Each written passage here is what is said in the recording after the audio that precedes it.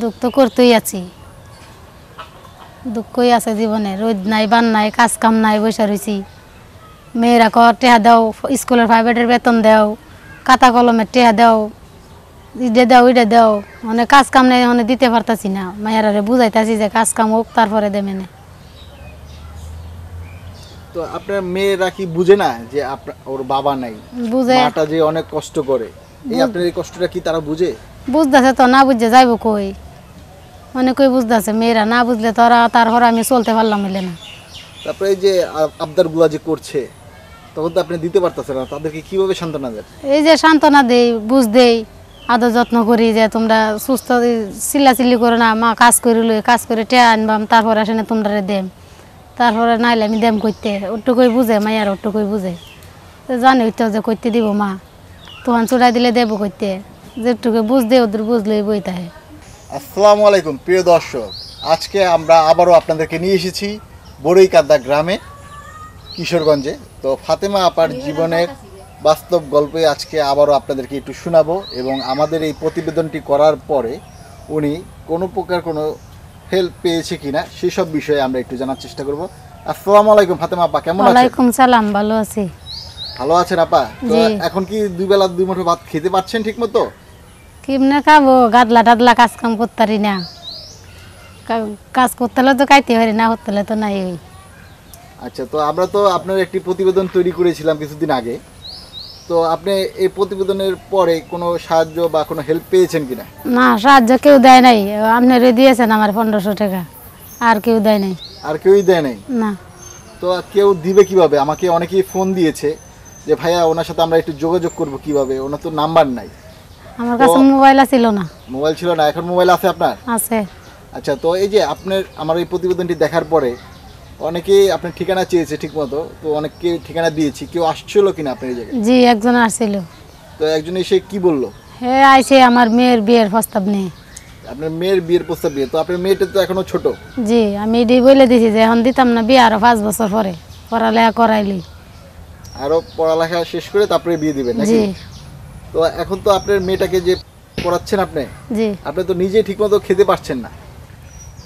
তারপর কষ্ট করে চেষ্টা করুম যাতে জিহুত লেখাপড়া করে মানুষ করতে পারি। নিজে কষ্ট হলে সমস্যা নাই। পেটে ভাত কেউ দেখতো না লেখাপড়াটা করাইতে হইব। আমি গরিব মানুষ নাইলে অনেক কষ্ট হয়ে যাব ফুলান্তের মনে আঘাত যাইব। লেখাপড়া না করতে পারলে কষ্ট হলে লেখাপড়াটা আমার করাইতে হইব। যেমনি হোক। তো আপনি বললেন তো আপনি ধানের মিলে চাক- চাকরি করেন নাকি? জি। মানে রোজ হিসাবে কাজ করেন? জি। কোনো মাসিক বেতন না? না। তো কত করে বেতন পান আপনি? এ তিনশো চারশো পাঁচশো সাড়ে চারশো সাড়ে তিনশো এরকমই। তো এক সপ্তাহে আপনার আয়টা কত হয়? এক সপ্তাহ রোদ উঠলে তো প্রতিদিনই কাজ হয় রোদ না উঠলে তো বই তাহার লাগে। তার কোনো কাজ নাই। তো আমরা এর আগের বার যখন এসেছিলাম তখন আপনি দুই দিন অনাহারে ছিলেন। জি। ঠিক আছে? তো আপনার এই এলাকার আশেপাশের লোকজন কার- কেউ কি আপনাকে সাহায্য সহযোগিতা করে নেই? না এরকম লোক কোনো নাই। সাহায্য করবার লোক নাই। তো আপনি তো একজন বিধবা নারী। জি। তো আপ- আপনার হাজবেন্ডের সাথে কি হয়েছিল আমাদের যদি একটু বলতেন? হাজব্যান্ডের সাথে কিছু হয় নাই। হাজব্যান্ড জুতার কাজ করতো। তারপরে হঠাৎ করে মনে হয় যে কি রোগ হয়েছে মাথা ব্যথা। ব্যথার মাঝে অনেক টাকা পয়সা ভাঙছি আড়াই লাখ টাকার মতন ভাঙছি। তারপর চিকিৎসা মানে ভালো করতে পারলাম না। তারপর একদিন হঠাৎ করে মারা গেল। টাকা পয়সাও শেষ মানুষও হারাইছি। মানে তো আমি পথের বিহারিও হয়েছি নাহলে তো আর আমার এই অবস্থা থাকতো না। মানে হাজবেন্ডও গেল আপনার? কষ্ট দূর শুরু হইল। কষ্ট শুরু হলো আচ্ছা যখন আপনার হাজবেন্ড ছিল তখন আপনার ফ্যামিলিতে আয় উন্নতি কেমন ছিল? অনেকেই আসিল। কীরকম? অনেক আসিল জমি জামা আসিল রাখছিলাম। তারপরে স্বামী জন অসুস্থ এই জমি জামা টাকা পয়সা উড়াইলাম উড়াই সারি তার স্বামীর চিকিৎসা করলাম। চিকিৎসা করে সব টাকা পয়সা শেষ স্বামীও শেষ। তো এখন আপনার সংসারে কে কে আছে? এখানে আমার তিনটে মেয়ে আর একটা ছেলে আমরা ওই চারজন।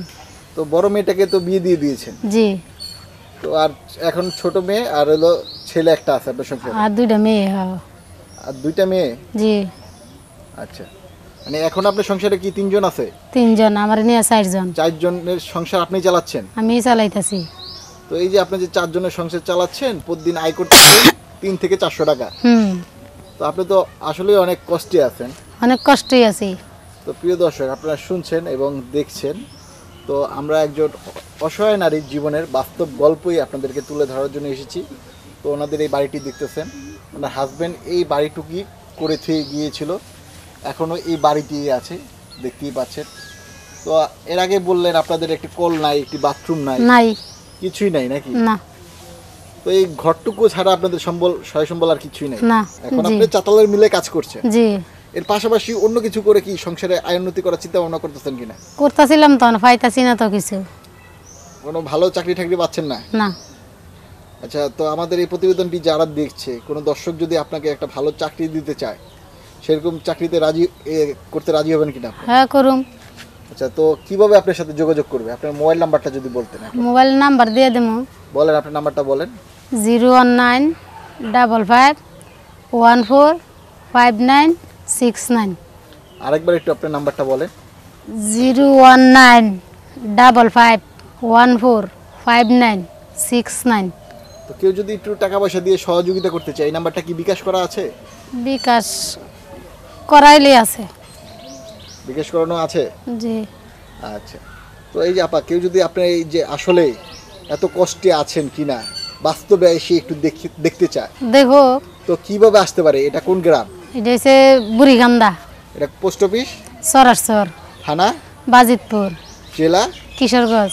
তো এই যে বুড়িকান্দা গ্রামে এসে কোন বাড়িতে যাবে বলবে?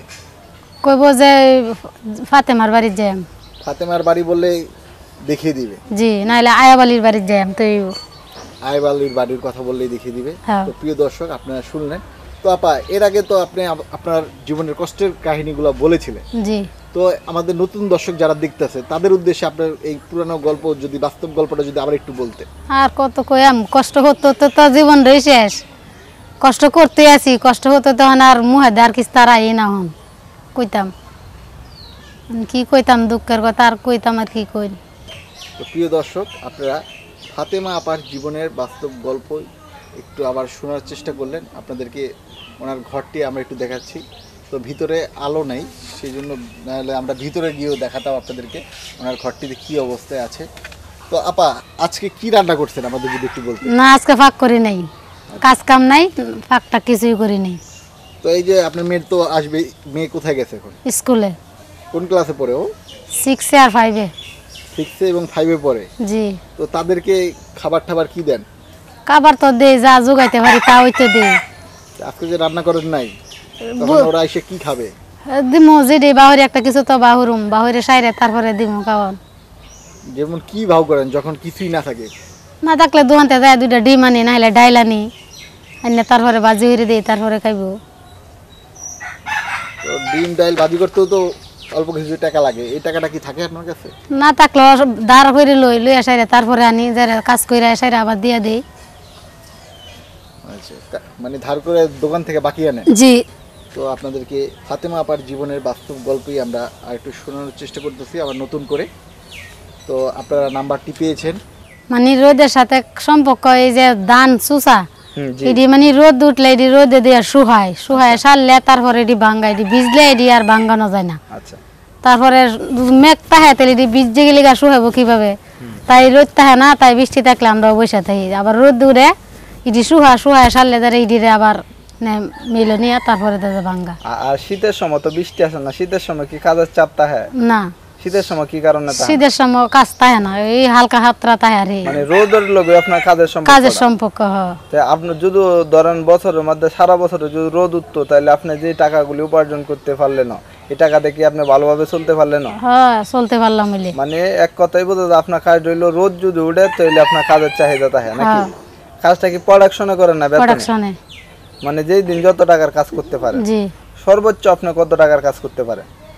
ভালো হইরে কাজ করলে মনে চার পাঁচশো টাকা করা যায়। জানের উঠে তুহান যারে ও আচ্ছা এই সপ্তাহে আপনি কত টাকা কাজ করছেন? এই সপ্তাহ কাজ করি নাই গাদলার লাগি। বৃষ্টির কারণে এই সপ্তাহ কাজ করতে পারেন না না। একদিনও করছেন না সপ্তাহের একদিন করছি চারশো টাকা কাজ করছি।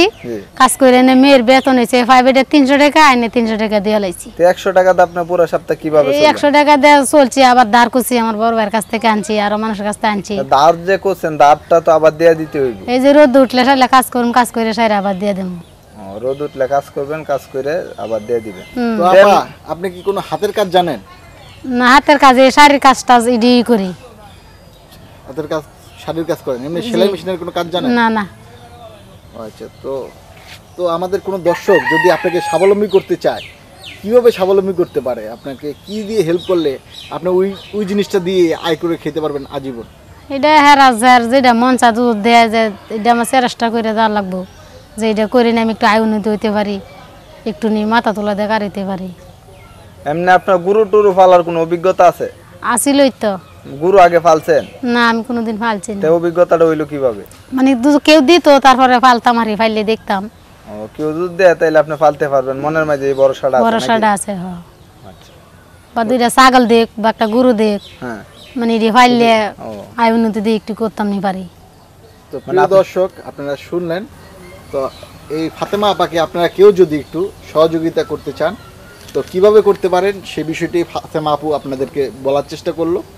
তো আমার এই প্রতিবেদনটি দেখে যদি আপনাদের মনে একটু আবেগ, অনুভূতি সৃষ্টি হয়, তো পারলে ফাতেমা আপুর পাশে দাঁড়াবেন।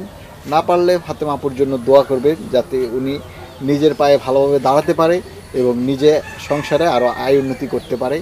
আজকে এই পর্যন্তই। আপনারা সবাই ভালো থাকবেন। সুস্থ থাকবেন এই প্রত্যাশাই করছি। আল্লাহ হাফেজ।